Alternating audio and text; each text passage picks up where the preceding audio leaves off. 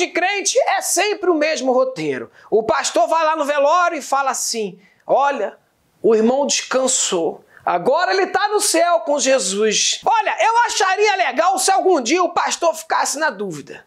Mais ou menos assim. Olha, irmão Eusébio descansou, né? A gente não sabe se ele foi pro céu ou não, né? Porque esse daí era um pilantra de primeira. Não sei se a esposa dele sabe, né? Ela tá até aqui presente. Mas o irmão Eusébio era um buceteiro de primeira, né? Eu sei que a irmãzinha não é flor que se cheira, mas o irmão Eusébio era até de frequentar puteiro. Tinha até relacionamento com travesti, é. Não, não adianta passar mal não, irmãzinha. Eu tô aqui para falar a verdade. Irmão Eusébio, todo mundo sabe que ele nem usava camisinha. Há quem diga que ele morreu porque pegou a DST. Se eu fosse vocês, tudo aí fazia exame. Irmão, iria ter que encomendar mais caixão, porque só nessa fala aí morria mais uns cinco. Irmãos, eu sou daqueles que não sabe se comportar em enterro. Um dia eu cheguei no velório, irmãozinho tava lá, eu falei, e aí, como é que tá? Tudo beleza? Aí ele ficou me olhando, Aí eu tentei consertar. Não, beleza não tá não, né? Tu perdeu o pai, né? Puta merda, hein? É foda, né? Morte, né? É. Agora dá licença que eu tenho que ir ali. Depois eu comecei a perceber que geralmente as pessoas se cumprimentam com o um negócio de meus sentimentos.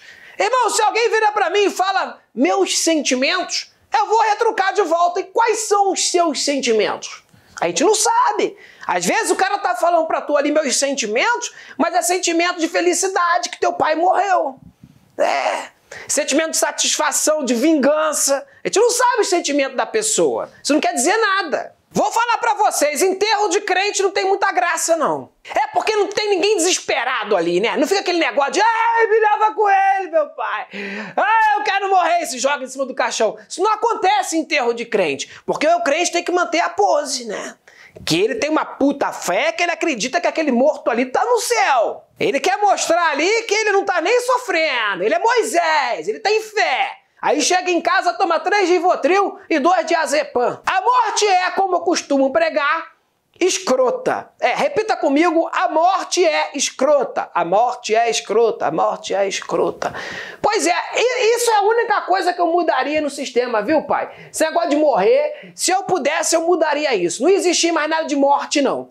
O que existir seria o seguinte: você ia ter ali a data e a hora para você ir para o céu. Você ia virar para o irmãozinho e falar assim: olha só, no dia 2 de dezembro de 2056, eu tenho que ir embora para o céu, tá? Não vou poder ficar mais. Aí o que você fazia? Reunia ali suas bagagens, podia levar até uma bagagem de mão, igual avião da Gol. E havia um ônibus voando do céu e estacionar. Você se despediria da sua família, entrava naquele ônibus e ia falar: ó, até na próxima aí na eternidade. E pronto, resolvido o problema. Mas não, irmão, na realidade a vida não é assim. A morte te mata do nada, já percebeu? Tá morrendo gente que nunca morreu antes. A morte é uma tristeza danada, ela te pega de surpresa, né, irmão? Aí vem aquele velório, não tem nem uma cachaçinha para dar uma amenizada na dor da família, aquelas catacumbas de cemitério tudo escrota.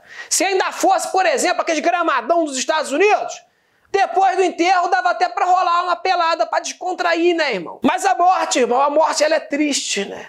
É te dá aquela sensação de estádio de Botafogo por dentro, sabe?